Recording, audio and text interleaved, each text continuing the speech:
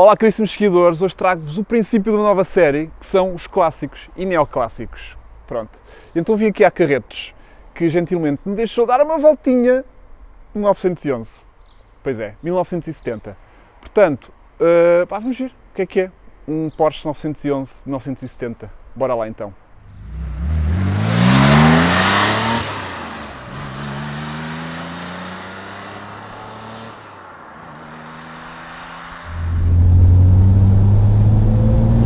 Cento e vinte e cinco cavalos.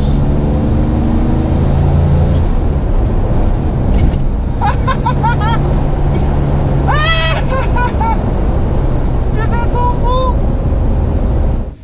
Chave aqui à Porsche, do lado esquerdo, por causa de Le Mans. Era mais fácil, eles contavam na linha de partida, meterem logo a primeira e dar a chave. Estes bancos são mega confortáveis, não vos digo nada. Ah. Ah. Vidros elétricos. Muito bom, muito bom. Vou fechar aqui um bocadinho o vidro para vocês poderem ouvir o brilhante 6 cilindros 2.2 com 125 cavalos. Estas já são as séries C e D que já tinham um acrescento de potência de 110 cavalos para 125. Ah, e o carro é uma delícia de se conduzir. Super suave, visibilidade a toda a volta, nada de queixar. Já temos aqui a antenazinha à frente e tudo. Esta posição super reclinada, que eu acho encantadora. Este carro é mantido aqui na, na garagem de Carretos que, e pertence basicamente ao Vintage Factory, que tem outras máquinas interessantes que eu vou tentar também trazer eh, no futuro. Agora, se calhar, eu vou deixar aqui que o motor refrigerado a ar aqueça um bocadinho e depois já posso, já posso puxar aqui um bocadinho por ele para ver o que é que este menino é capaz de fazer. Bom, a pessoa vir passear com a sua senhora ao domingo de manhã, um bocadinho de estilo e ter algum prazer da condução, eu acho que não há melhor. Caixa de 5 velocidades.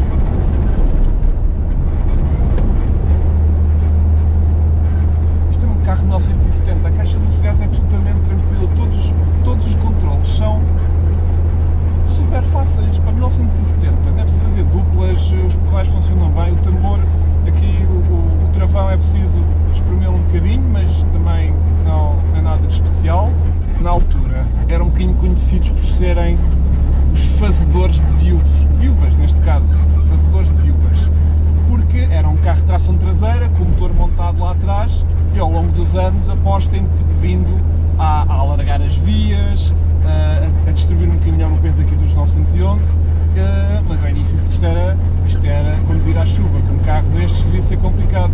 Depois tinha outro problema, que era o facto de ali à frente não haver peso nenhum. E portanto a malta queixava-se que quando andávamos à chuva o carro soltava-se traseiro era perigoso. E, e a frente, para entrar nas curvas, era um bocado perigosa.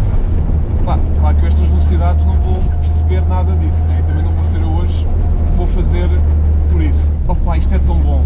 A direção super desmultiplicada, tem que estar aqui imensa à, à roda. Mas sim, obrigado Carretos e Vintage Factory por me deixar dar uma voltinha em 1970. Isto é uma autêntica máquina do tempo. E apesar de eu não ser o maior conhecedor de Porsche, aliás, toda a gente que me conhece sabe que eu sou é um fã de Ferraris e não de Porsche. Mas a realidade é essa, sempre que eu ando de Porsche, a conclusão que eu chego é que isto é uma peça de engenharia brutal, brutal, porque eles conseguem ao longo destes anos todos ter o motor no sítio errado e os carros serem brilhantes. Portanto, o Sr. Fernando Porsche basicamente decidiu fazer um carro desportivo a partir do Beetle. Pá, o homem, o homem trabalhou bem, o homem trabalhou bem. Realmente estes carros encantadores. Maravilha dos 911 é que além de ter um motor traseiro, ainda conseguiam pôr aqui mais duas pessoas. Vá, isto não é um 4 lugares, isto é um, um, um 2 mais 2. Pronto. E então consegue-se pôr aqui duas pessoas motor lá atrás ainda e uma mega bagageira aqui à frente. É genial. 125 cavalos de um carro que não pesa muito mais de 1000 kg. Em 1972, isto é um carro desportivo para a altura, né? isto é uma mega máquina. Mas quer dizer, era aqui a prova que eles não precisavam de mega potência para terem um carro divertido e desportivo e com confortos. Tem rádio e funciona. Querem ver? Funciona. Funciona lindamente. Tinha a antena aqui à frente, que é para nunca me esquecer dela. Tem um relógio, tem o conto de rotações aqui ao meio grande, como ainda hoje se mantém aqui nos Porsche, o destaque para o conto de rotações. Temos velocímetro, temos aqui todas as temperaturas, óleos, combustível, está tudo aqui à minha frente. Isso é tudo inspirado na competição, tudo isto estava aqui para fácil leitura e realmente é tudo muito simples, mas funcional. Deixava aqui à esquerda, os pedais lindamente arranjados, toda esta parte aqui da frente super clean, não há aqui quase um separador depois da caixa, é tudo, é tudo contínuo. O carro puxa belíssimamente bem. Desde baixas.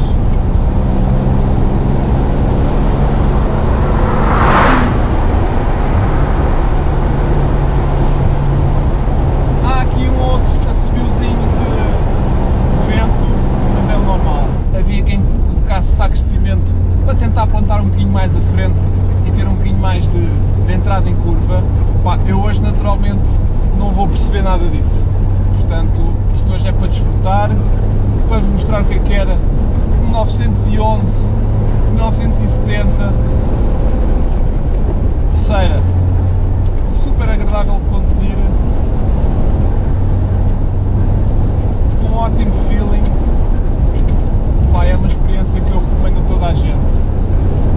E é um clássico, quer dizer, um 911 já nasceu para ser clássico. E este realmente prova que a lenda de 911 está para ficar. E foi este aqui o primeiro carro da série Vintage Clássicos, Neoclássicos. Espero que tenham gostado.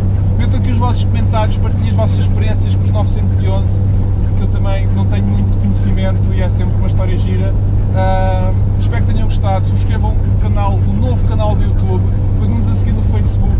E agora despeço-me aqui com uma segunda